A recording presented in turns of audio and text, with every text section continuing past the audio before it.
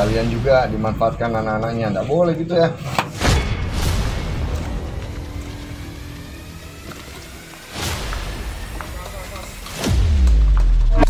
Mengunci pintu dan menyuruh korban untuk menonton film dewasa.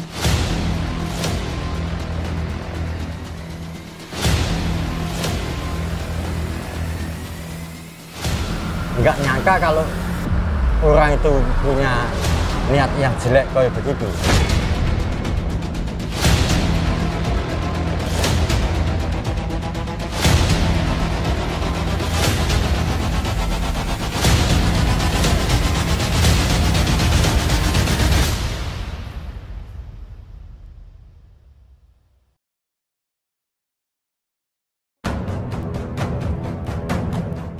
Kasus kejahatan seksual terhadap anak di bawah umur terjadi di Kabupaten Bintan, Kepulauan Riau. Enam bocah menjadi korban nafsu birahi seorang pria berinisial YK yang merupakan seorang pedagang buah di Pasar Baru Tanjung Uban. Pria berusia 48 tahun itu melakukan aksi bejatnya selama dua bulan, sejak 9 Mei hingga 11 Juli 2022. Dengan modus bujuk rayu untuk mengantar barang dagangannya, YK melakukan aksi tak terpuji itu sebanyak tujuh kali. Polisi akhirnya meringkus pria parubaya itu di salah satu kedai kopi di Tanjung Uban, Bintan pada 15 Juli silam.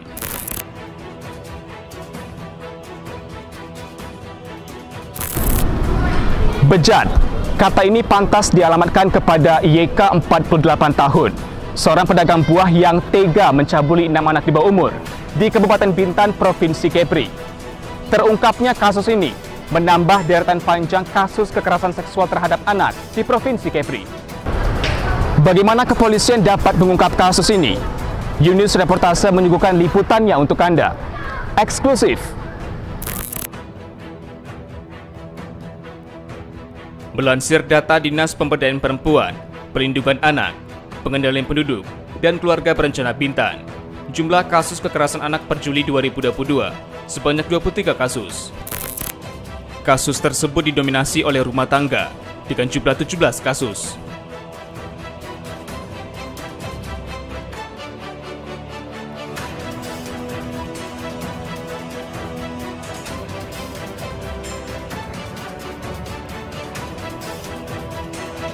Kasus kejahatan seksual terhadap anak di Bintan bermula pada 14 Juli 2022 pukul 19 waktu Indonesia Barat.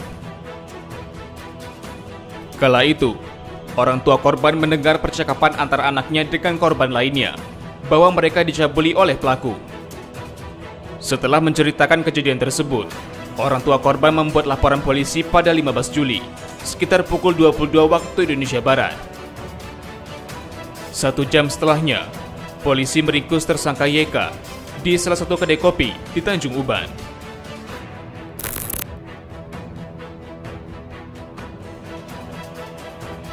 Tim Yunis Reportase memulai penelusuran di Jalan Pasar Baru, Tanjung Uban, Bintan Utara. Di kosan berukuran 4 kali 3 meter, dengan dinding berlapis seng dan kayu, YK mencabuli korbannya. Tampak tumpukan box kayu yang kerap digunakan YK untuk berdagang buah, tergeletak di depan rumah. Sohiman, warga Pasar Baru mengatakan, pagi hari anak-anak di sekitar kerap membantu YK mengantar dagangan buah ke Pasar Baru dengan diberikan upah. Ia pun tak menyangka YK tega melakukan aksi tidak manusiawi itu kepada anak-anak. Pak Sohiman, kita kan sudah berada di lorong di Jalan Pasar Baru ini ya Pak ya. Ya, Bapak warga Pasar Baru, benar Ya, demikian. betul, betul. Di belakang kita itu lokasi yang dijadikan tersangka pencabulan anak. Benar ya Pak ya? Oke, oke, benar. Ya Pak, saya mau dengar cerita dari Bapak warga sini karena kan ini kan eh, seberang jalan ya, seperti itu Ya, Pak ya. ya. Bisa di- diceritakan kepada kami bagaimana Pak eh, apa tingkah atau perilaku dari tersangka YK ini kepada anak-anak di sekitarnya? Begini Mas, yang saya ketahui waktu saya nongkrong di rumah, kalau pagi-pagi eh, dia, dia kan jualan ke pasar. Jadi anak-anak itu sering bantu dorongi buah ke pasar.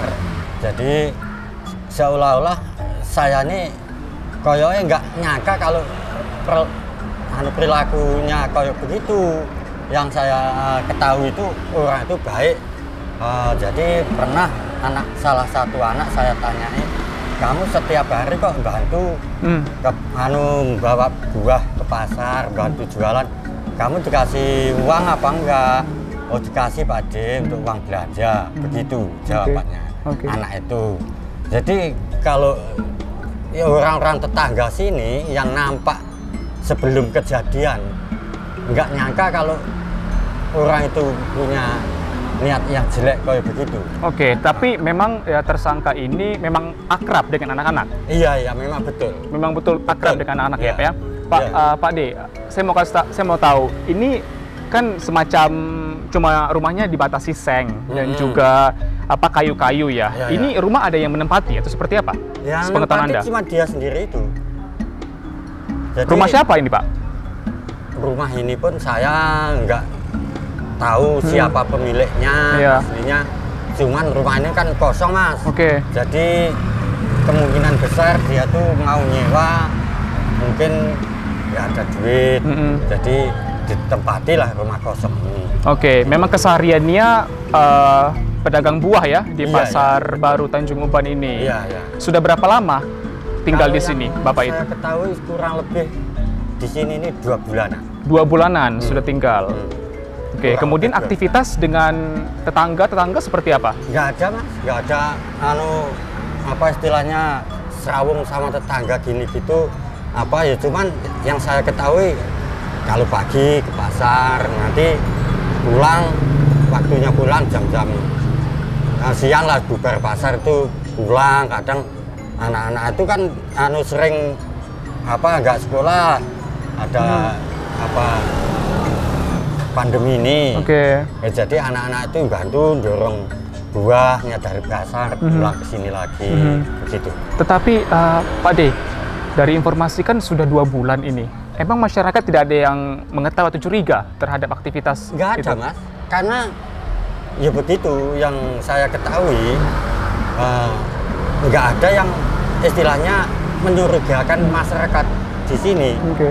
nggak ada, Nggak ada sama sekali ya. nggak ada sama sekali. Tetapi tahu-tahu masyarakat sini eh, ada polisi datang, hmm, jadi anu masyarakat tanya-tanya ini ada apa. hmm, Nah, tahu-taunya dia punya apa cara yang enggak apa manusiawi etis. itulah. Hmm. Oke, baik Pak. Pak D, terima kasih Pak atas Oke, waktu Anda Pak. Terima oke. kasih Pak. Ya. Ya. Kapolres Bintan, AKBP Tidar Wulung Dahono menjelaskan, enam korban aksi pedofilia merupakan anak berusia 11 hingga 14 tahun. Modus pelaku membujuk korban mengantar barang dagangan ke kosan tersangka. Kemudian tersangka mengajak korban menonton video dewasa.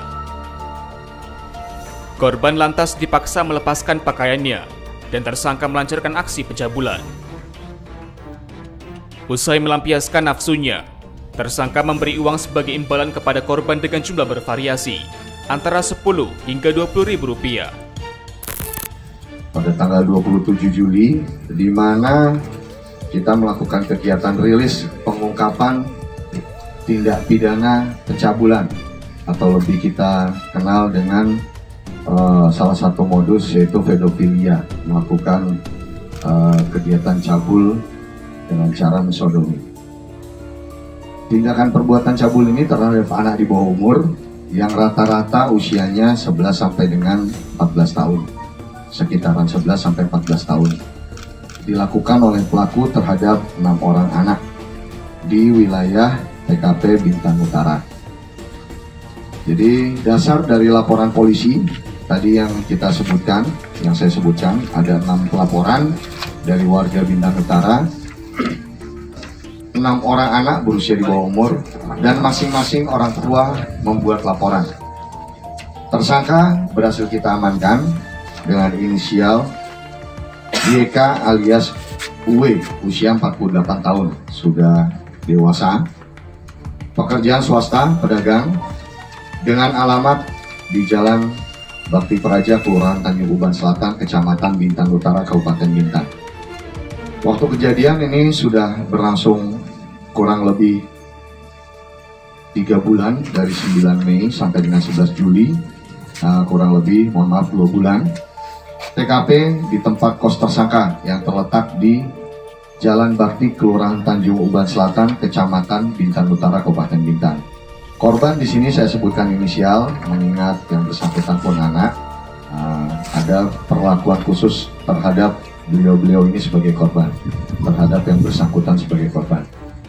Tapi rekan-rekan bisa untuk mengetahui inisial-inisialnya. Kemudian TKP atau lokasi perbuatannya sama di satu tempat yaitu di rumah kos tempat tinggal dari tersangka. Barang bukti yang berhasil kita amankan uh, berkaitan dengan pembuktian dari tindak pidana yaitu satu buah bantal, satu helai kain spray, satu unit handphone yang dipakai untuk modus yang bersangkutan yaitu dengan cara mengajak mengajak korban beberapa kali untuk menonton film dewasa. Kemudian satu lembar uang tunai pecahan Rp10.000. Nah, ini diiming-imingi sebagai imbalan untuk yang bersangkutan tidak melaporkan atau tidak ngadu kepada orang tua.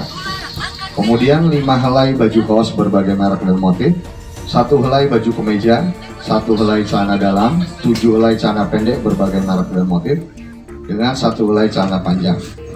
Ini merupakan pakaian yang digunakan pada korban ataupun anak saat kejadian perbuatan cabul yang dilakukan oleh pelaku.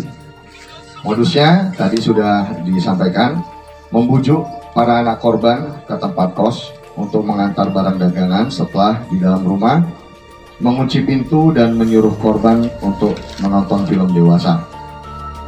Selanjutnya tersangka mengancam dan memaksa para korban untuk membuka baju hingga sampai tidak berbusana dengan cara memaksa, membentak-bentak, kemudian tersangka melakukan perbuatannya cabul dengan cara menyodomi para korban dan memberikan imbalan dalam bentuk yang variasi sekitaran 10 sampai dengan 20 ribu rupiah.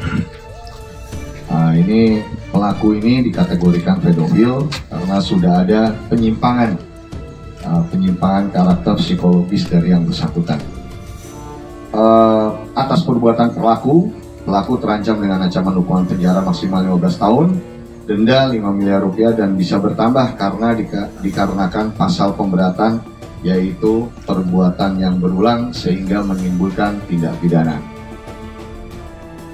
mengenakan baju oranye bertuliskan tahanan. Dengan tertunduk, YK pun menceritakan aksi bejatnya. Ngobek bawang, nah, terus uh, sekalian aku amanahkan untuk menjualkan barang-barang aku. Hmm, tapi sekalian juga dimanfaatkan anak-anaknya, nggak boleh gitu ya? Ya. Anak-anaknya ini dipaksa ya pas di kos-kosan, diancam nggak? pakai senjata tajam atau enggak? ada. Ada masa bentak-bentak. Bentak-bentak ya? Hah? Ada bentak-bentak kan? Nah, Bentak-bentak itu apa namanya? Maksa enggak? Enggak, Pak. Hah? Itu di waktu suruh nenek itu, nenek itu sering masuk, dia kayaknya bau katanya. Hmm? Nenek punya kos itu. Hmm. Jadi enggak masa melakukan ini enggak ada masa. Itu anak-anak loh. Iya, Ah, gimana sih? diam kan suruh diam tuh ada suruh ada ngomong pantai diam ya Terus dikunci ya rumahnya ya supaya nggak kabur gitu ya? Karena dia sering merokok-rokok juga itu yang kunci takutnya aku bilangnya pelan aja ngajak merokok. Siapa? Takut disangka aja-aja. Iya. Kamunya takut sangka aja-aja merokok. Padahal kau aja-aja yang lain. Tahu Pak, dia duluan kadang-kadang bawa kunci ke rumah itu dia mulai Ya, tapi sampai kau bisa cabul yang ngajak siapa? kebanyakan dari saya Hah? saya Wah. Kepala Dinas Sosial Kabupaten Bintan, Samsul mengatakan, Dinas Sosial bersama DP 3 KB Bintan menerima laporan dari kepolisian pada 16 Juli silam. Setelah mendapat laporan, pihaknya langsung melakukan asesmen kepada para korban. Hasilnya, korban mengaku telah dicabuli oleh pelaku. Pak Samsul, Kepala Dinas Sosial Kabupaten Bintan, terima kasih Pak atas waktu Anda Pak. Menyoal aksi bejat eh, pelaku ya YK 48 tahun yang sempat menggemparkan masyarakat Bintan. Saya ingin tahu awal mula kasus ini dari respon Dinas Sosial seperti apa Pak? Ya, Jadi begini, kita berawal dari kasus kita mendapat informasi itu di hari Sabtu tanggal tanggal 16 Juli di tahun 2022. Jadi kami selaku dinas sosial ada tupoksinya untuk ke bidang itu, kami merespon.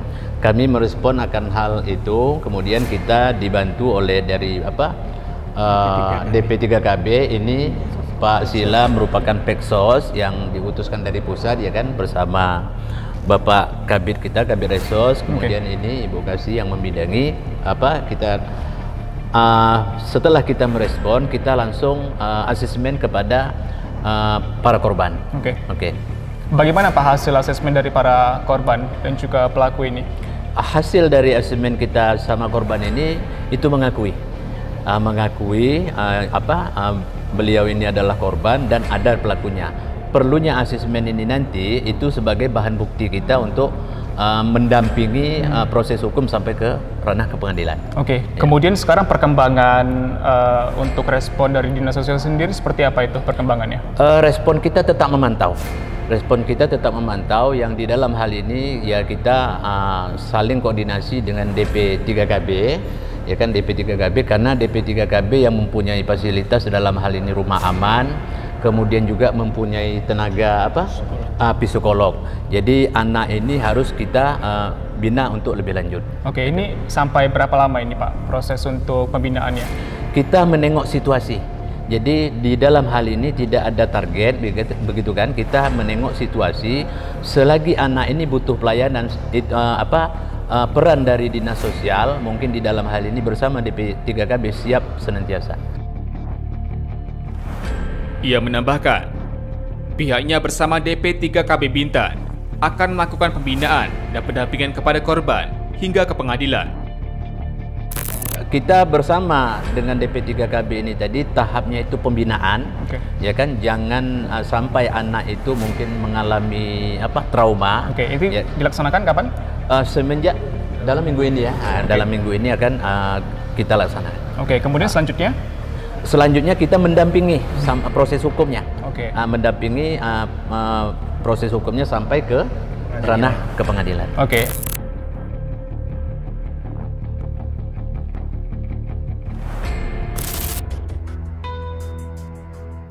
Psikolog klinis Vika Pramadifta mengatakan, kasus kejahatan seksual terhadap anak kerap dilakukan orang-orang terdekat. Ia menambahkan, pentingnya orang tua dan lingkungan masyarakat untuk mendidik anak agar memiliki kewaspadaan terhadap orang asing. Bu Vika Pramadita, psikolog klinis Provinsi Kepri, terima kasih atas waktu Anda, Bu.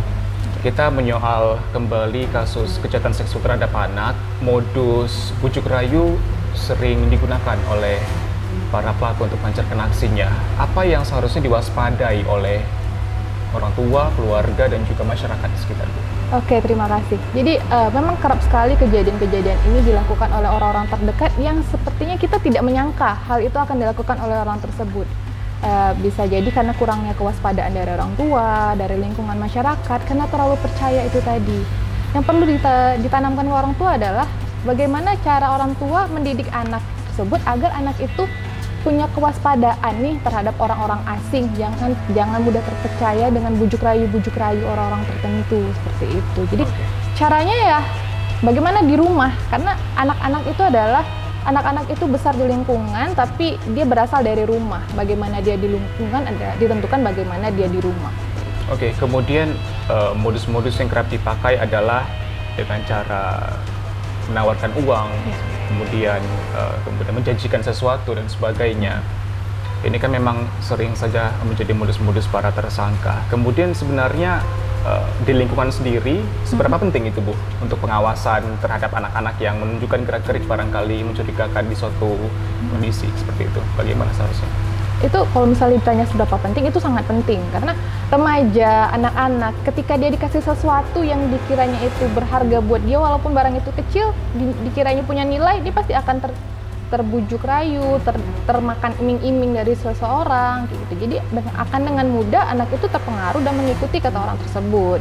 Iya, baru kemudian peran dari masyarakat sendiri hmm. kalau mengetahui bahwa uh, adalah indikasi-indikasi ataupun gerak-gerik yang mencurigakan, sepertinya peran masyarakat itu uh, bagaimana seharusnya menyikapi hal tersebut? Oke, masyarakat jangan cepat percaya, coba harus diwaspadai orang-orang asing. Memang sekarang korban tidak hanya perempuan, laki-laki seperti kasus yang belakangan, laki-laki juga menjadi korban, anak laki-laki juga menjadi korban.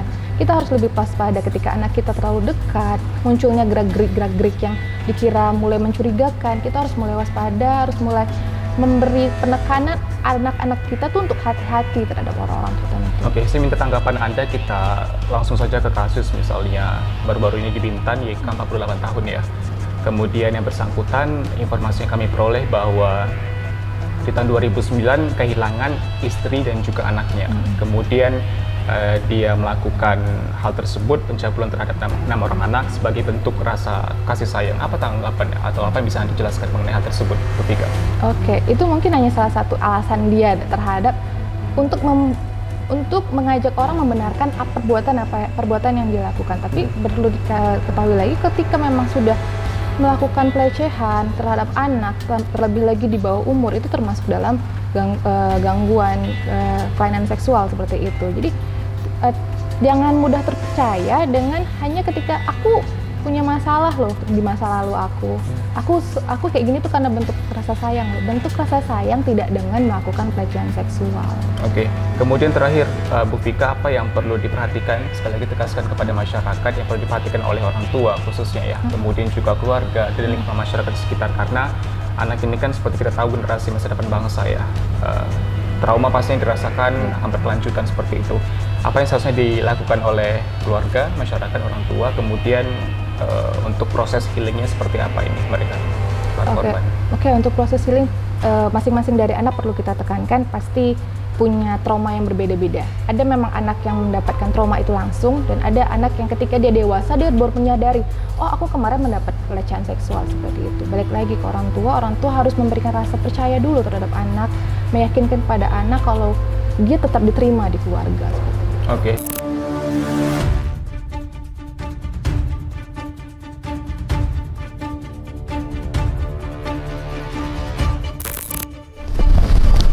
Saudara dengan modus bujuk rayu para korban, kepolisian akhirnya dapat mengungkap kasus predator anak di Bintan. Kasus ini seakan menjadi pemantik bahwa pentingnya kewaspadaan dan juga pengawasan orang tua terhadap anaknya. Saksikan Yunus Reportase edisi selanjutnya. Sampai jumpa.